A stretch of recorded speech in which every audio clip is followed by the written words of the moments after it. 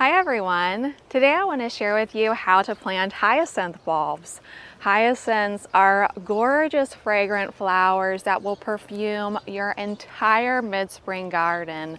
They bloom along with the daffodils, the early tulips, and they come in a dazzling array of colors. There's whites, creams, pinks, apricots, wines, and of course my personal favorite, true blue. You can't go wrong with a blue flower out there in the garden, can you? Now hyacinths are really, really easy to grow.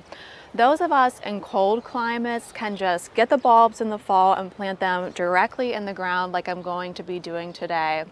They require a cooling period of 12 to 14 weeks at 40 to 45 degrees Fahrenheit in order to bloom properly. And those of us in cold climates, we just naturally experience that during the winter. However, if you are in a warmer climate, you're gonna wanna go ahead and pre-chill your bulbs prior to planting them out. And this is really easy to do. All you have to do is put the bulbs in the crisper drawer of your refrigerator for 12 to 14 weeks prior to planting, and that'll take care of the pre-chilling for you.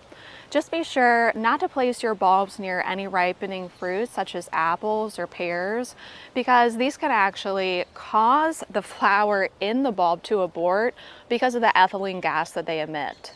So now let's go ahead and plant some hyacinths together. You'll see that I'm wearing gloves for this. That's because hyacinth bulbs have a powdery coating that can cause skin itching and irritation. So I always like to wear gloves and then I wash my gloves as soon as I'm done.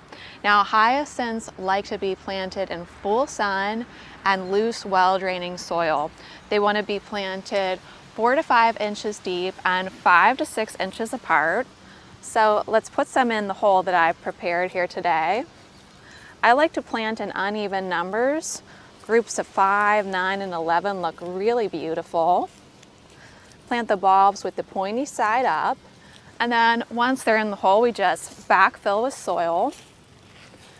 And generally speaking, fall and winter rain is enough moisture for these bulbs.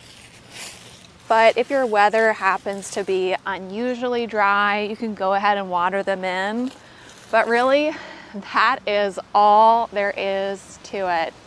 Now, what you can expect to see come spring is the leaves will emerge first. And then about three weeks after that, the bloom stalk emerges and you'll get that beautiful big bloom. Generally, it's one bloom stalk per hyacinth bulb Although sometimes I've seen them put up an additional stalk. This stalk is always smaller, shorter, and has less florets, but you will sometimes get a second or third, but it won't ever be as showy as that initial really big, big, beautiful stalk. Now, after they're done blooming, you can either treat them as an annual and remove the entire plant bulb and all, or if you live in an area where hyacinths come back reliably, you can leave them in the ground to perennialize. So here in 6B, what I do is after they're done flowering, I first remove the whole bloom stalk at ground level, but I leave all the foliage to die back naturally, and that replenishes the bulb for next year so it can flower again. Now once the foliage yellows, then it will eventually die and turn brown and crispy. At that point, I can pretty much just swipe it away from the ground or cut it away, and then my bulb will come back next year. So you can see there's just so much to love about hyacinths. They're easy to plant, they're big, beautiful flowers in the spring, wonderful fragrance, and they're also deer, rabbit, vole, and squirrel resistant. Now, that's definitely a bulb that I can get behind. Well, I sure hope this video was helpful, and from all of us here at Longfield Gardens, happy gardening. Bye!